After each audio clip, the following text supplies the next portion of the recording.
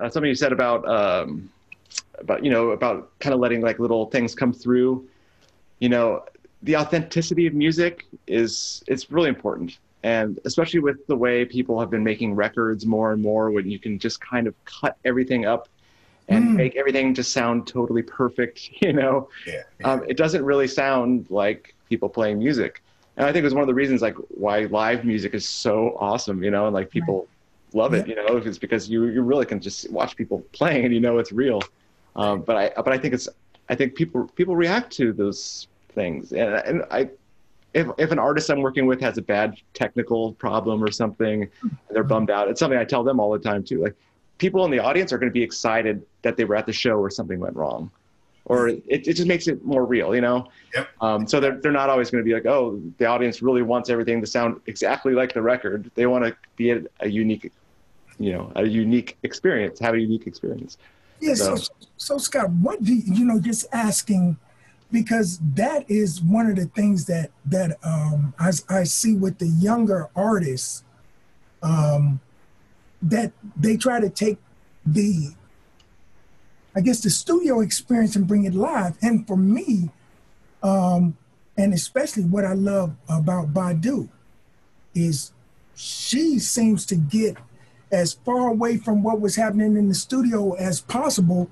And, and I think that's what keeps her, um, keeps people coming to see her because on any given night, you don't know what version of Bag Lady you're going to hear or whatever because it is uh, she likes to say it's an organic you know it's it's one living how does she put it it's um, a living breathing organism and so with having all of those players that actually are playing it just varies from night to, to night. And and there have been some amazing nights where you just know wow this will never be like this again. What do you think about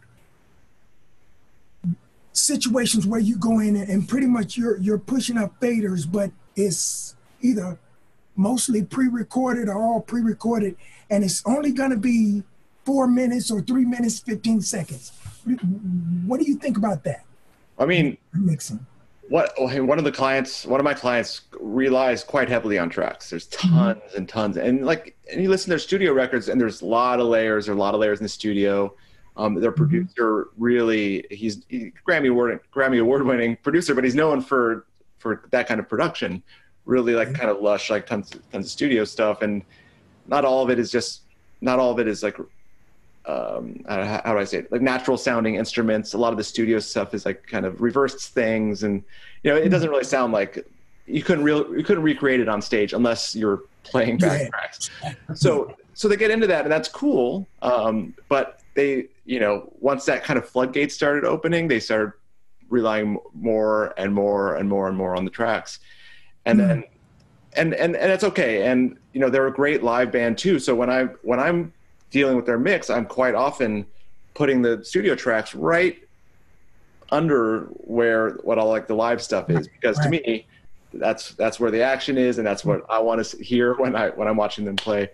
Um, but then when their when their producer comes along, sometimes you know he, if if we're talking about stuff, he'd be like, "Oh, should we push the tracks more?" I was like, and I, we're you know we don't fight about it. we get, we get along great, but mm-hmm. you know we were you know we're, we're, it's always a point of discussion like what should be you know he wants it to sound like the record because he's been in the studio mm-hmm. working on these layers and stuff you know tweaking them out for for however long. And and to me i want the organic experience. So it really i think just the mix you know even if you have the tracks just a few db in the mix is really going to change how it's perceived. Yeah. Yeah that's real.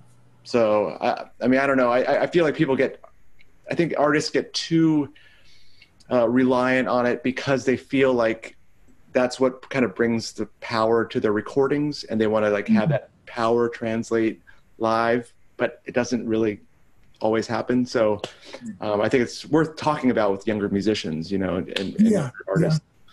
because you know quite a lot of times what people are connecting with is is not that. They're connecting with that immediate thing on stage that they're seeing happen like happening live you know I think you I think you you hit on it right there uh, with the uh, younger musicians because now I'll say for myself as as as well as I, I know for uh, Dre as well.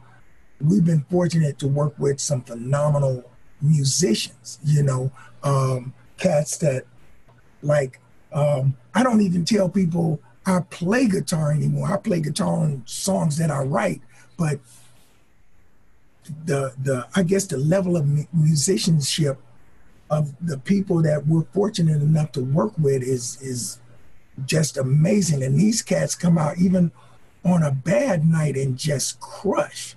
You know, um, I, I guess uh, I would say like uh, cats like uh, Braylon Lacey on bass, um, um, R.C. Williams on keys, um, um, God, just just just bad cats. Wayne Wayne Lindsey, um, just so many bad cats. You know that that that um, you know I, I think about like that, and and so I guess that makes the difference when you you know, and everybody comes to, into their own, and every generation has the people that they look up to, and everybody's got a just like with us. Now, the three of us, we can sit back and we can talk frequencies, we can talk uh, uh, uh, systems or whatever, and this is through experience, you know, and that that is time. So I guess um, I guess I'm kind of answering my own thing as I think about it. When people, when they're new to the game, you know, they do what they do, and as they go along, they evolve and things change. Oh, yeah. You know. Yep, absolutely, absolutely.